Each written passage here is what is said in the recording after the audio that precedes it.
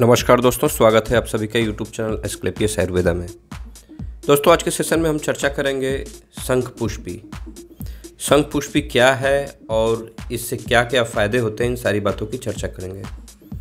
दोस्तों, शंख पुष्पी पथरीले मैदानों में पाई जाने वाली ठंडी प्रकृति की एक जड़ी बूटी है, जिसकी तासीर ठंडी और इसे दिमाग को स्वस्थ रखने के लिए काफ़ी कारगर माना गया है।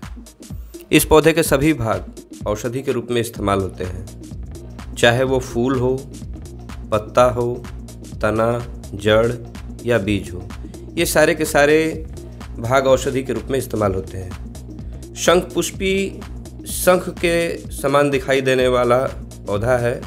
इसके जो पुष्प हैं, वो शंख की भांति दिखाई देते हैं, इसीलिए इसे शंख पुष्पी भी कहा गया है।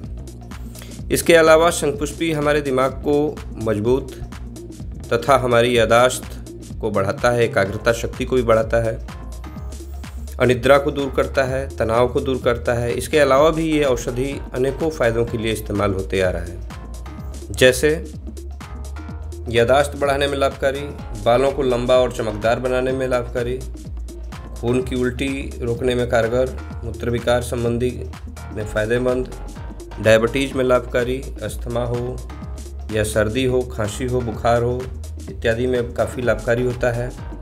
मिर्गी, बवासीर, कब्ज इत्यादि में भी ये लाभकारी होता है। इसके अलावा हमारा एकाग्रता शक्ति को भी ये बढ़ाने में बहुत ही कारगर होता है। शंख पुष्पी के इन्हीं सब गुणों के कारण ये काफ़ी प्राचीन समय से ही इस्तेमाल होते आ रहा है। एक और बात दोस्तों, यदि किसी भी पौधे के बारे में आपको जानकारी दी जाती है इस वीडियो के माध्यम से या इस चैनल के माध्यम से तो डायरेक्ट उसका इस्तेमाल करना ही शुरू मत कर दें। क्योंकि किसी भी औषधि के उसके गुण होते हैं तो अवगुण भी होते हैं। तो सबसे बेस्ट ये है कि किसी भी औषधि के गुण को जानिए, वो अच्छी बात है, लेकिन इस्तेमाल करने से पहले चिकित्सक से अवश्य परामर्श ले लें।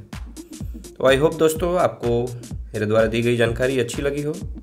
मिलते हैं नए वीडियो में नई जानकारी के साथ। धन्यवाद।